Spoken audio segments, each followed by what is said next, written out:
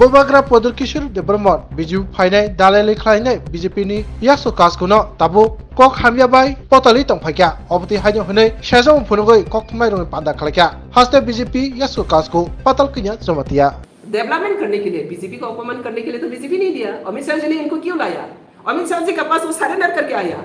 और सरेंडर करने के बाद वहाँ पे अगर दादागिरी दिखा रही है। किसने उनको पावर दिया? पर्सनल करने के लिए पार्टी के अंदर में घुस के? अभी तो बीजेपी फ्लैग नहीं पकड़ा। प्रोदर बीजेपी फ्लैग पकड़ा। सिर्फ़ टिकट लूप से कारण से आया। ईमानदारी से आया है क्या? वो तो लूबी से कारण से आया। हम लोग बीजेपी में एंट्री हुआ। मुझे प्रेसिडेंट दो, मुझे ऐसा दो ऐसा दो। कोई आया? हम लोग मोदी को सपोर्ट करने के लिए मोदी को और भी स्ट्रेंथन करने के लिए देश ताकि आगे बढ़े, सबका सब सबका विकास हो। लेकिन उन्होंने तो ऐसा करके नहीं आया। ईमानदारी कौन है?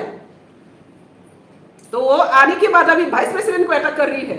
तो मेरा ज़िम्मेदारी बनती हो, मैं वाइस प्रेसिडेंट मेरा बीजेपी को सेफगार्ड करना। ऐसा घोटाला बास को मैं बीजेपी रहने था इसको सपोर्ट करना इसको खुलासा करना मेरा दायित्व है আচ্ছা এই নিয়ে আপনার ও শীর্ষ মহলে আপনি নেবেন এই বিষয়টা তুলে ধরবেন যে Pardon? কেন্দ্রীয় কেন্দ্রীয় নেতৃত্বের কাছে বিষয়টা অবশ্যই নিব আমি অলরেডি অলরেডি এখন ফরওয়ার্ড করে দিচ্ছি আমাদের সব অফিস বিয়ারার সব জায়গাতে আমি ফরওয়ার্ড করে দিচ্ছি বাকি কি হবে সেন্ট্রাল দেখবে কিন্তু আমার দায়িত্ব এক্ষুনি এক ঘন্টা আগে পেয়েছি আমি কালকে যে বলছে এক ঘন্টা আগে পেয়েছে আর কত কিনা বলছে অজানা এটা প্রেস মিডিয়াতে আছে বলে আমি দেখতে পাচ্ছি আর অজানাতে তার কি যে বক্তব্য হচ্ছে আমি সেটা তো বুঝি না। তো যদি প্রকাশ্যে সবাতে এরকম করতে পারে তাহলে ও প্রকাশ্যে কি করছে? সেটা তো পরিষ্কার। এটা তো প্রজেক্ট এজেন্ট প্রজেক্ট এজেন্ট দালালি এজেন্ট তো দালালি এজেন্টকে ভোট দিলে আমি দালালিকে তো সাপোর্ট করব না।